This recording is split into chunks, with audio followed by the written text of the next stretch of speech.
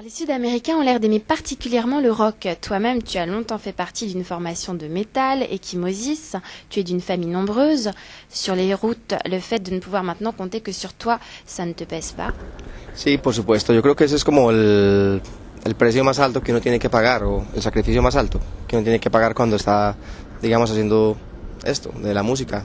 Es, por un lado, disfrutar muchísimo de la gira y de conocer muchísima gente y de hacer lo que, te- lo, que, lo que amas, pero en, en, otro, en otro lado también tienes como la ausencia de tu familia y es, es duro, ¿no?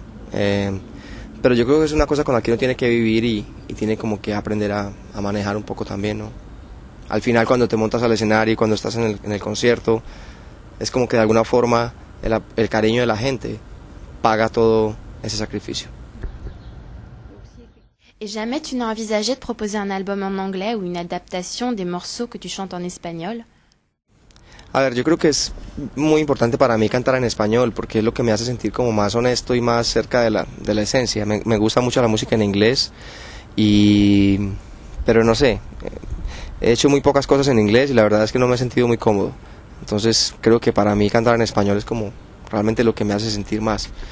Y por ahora me quedaré ahí, quizás en un futuro, ¿por qué no? Hacer algo en inglés, pero por ahora no. Ici à Fun, il y a une artiste que nous adorons, Nelly Furtado. En 2003, tu la faisais chanter sur Photographia. Là, elle t'a rendu l'appareil en te proposant un duo, T'es bousqué, sur son album Lose. Qu'est-ce qui t'a séduit d'emblée chez elle? Pues yo creo que todo. Pues eh, es una, somos muy buenos amigos y me gusta muchísimo lo que ella hace, su arte, me encanta, su voz, su forma de pensar, su música. Eh, pero más que todo hay como una muy buena amistad de por medio. Y yo creo que eso, lo primero que lo que me acercó a Nelly realmente fue su música. Cuando saca su primer disco, el, el One Nelly, que yo lo compré y era súper fan de ella, pues yo no la, no la conocía. Luego la conozco y, y, pues me encuentro como una gran, una gran persona, muy, muy respetuosa y muy interesada por la cultura latina, por la música latina. Y hasta el día de hoy, pues bueno, somos muy buenos amigos y de hecho me ha invitado a trabajar en su disco otra vez. Así que ahí estoy. Dans Adieu Slepido, tu demandes à Dieu que si tu meurs un jour, ce soit d'amour, que ton peuple n'ait plus à verser de sang. Est-ce que tu es quelqu'un qui prie beaucoup ou es-tu surtout superstitieux?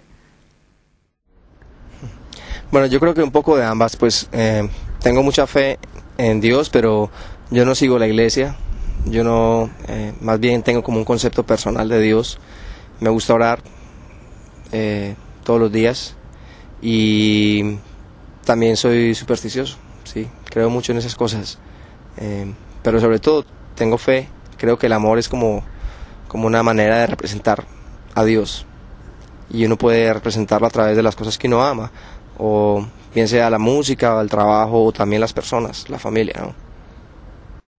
Alors que demanderais-tu à ton Dieu ce soir au moment d'éteindre